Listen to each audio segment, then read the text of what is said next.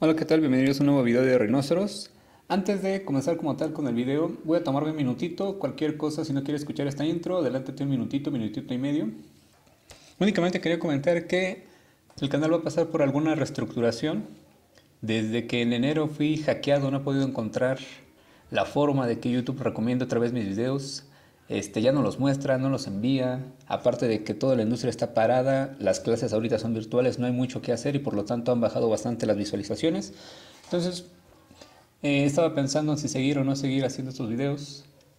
Y pues voy a seguir, pero voy a todo, una, todo un cambio en cuanto al nombre, no sé si el logotipo, la apariencia.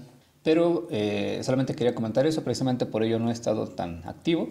Y bueno, vamos a comenzar como tal con este eh, video.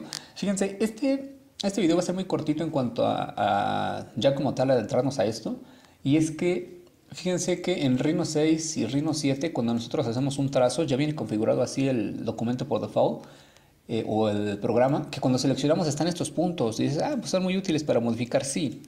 Pero cuando ya tienes muchas entidades, cuando tienes por ahí estructuras alámbricas, cuando tienes vectores, cuando tienes un montón de capas, ya les he mostrado ahí cuántas capas utilizo para para modelar, pues es una molestia, ¿no? Porque tú vas seleccionando, quieres seleccionar alguna otra curva que esté por aquí y ya sin querer le diste al, al cursor.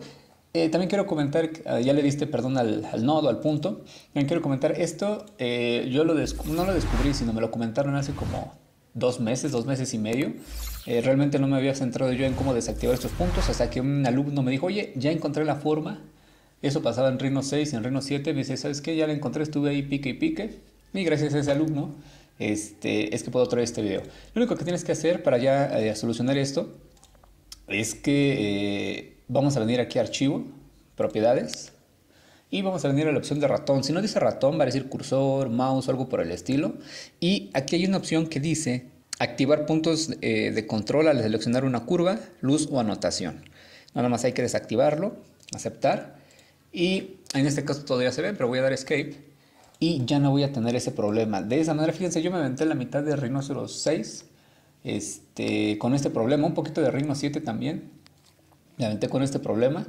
Eh, realmente, ¿por qué me la aventé con ese eh, es todo este tiempo con ese problema y no me puse a investigar cómo desactivarlos? Pues realmente porque el Rhino 6 para mí no tuvo gran importancia, gran relevancia entre nuevas cosas. Entonces yo seguí utilizando el 5 en toda la mitad del Rhino 6 y cuando empezó a salir todo lo de eh, Rhino 7, pero en etapas de desarrollo, y dije, bueno, vamos a ver qué, qué puedo aprender de Rhino 6.